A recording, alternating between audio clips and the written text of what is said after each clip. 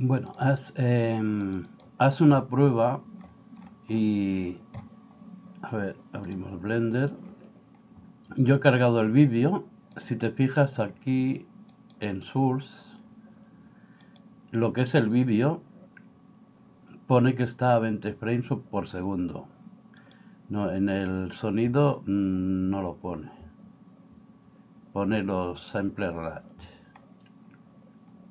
Entonces, cuando cargas el archivo de vídeo y audio que se supone que ya tienes, ¿no? Que habías hecho, eh, verás que las dos direcciones, o sea, los dos finales tienen que acabar igual.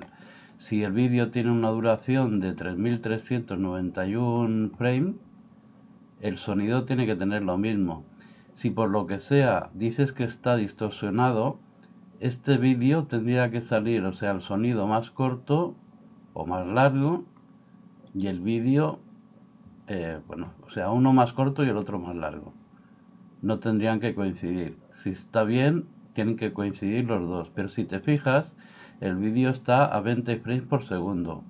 Entonces, ¿qué es lo que pasa si hacemos mm, nuestra salida? Espera, a ver si... A ver, voy a dividir. Onliner preferencias properties que diga. Transform salida.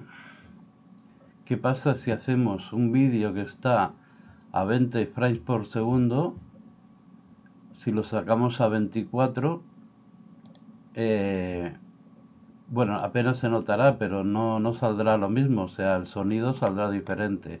Eso es lo que me refiero, o sea, que es un fallo entre los frames que tú tienes puestos en el blend, de lo que sale luego en el vídeo y de lo que cargas luego en el, en el editor, en el video sequencer, perdón.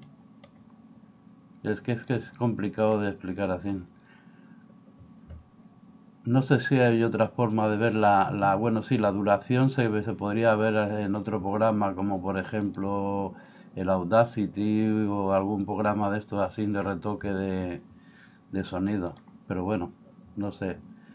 Prueba con a mirar eso a ver si te sale.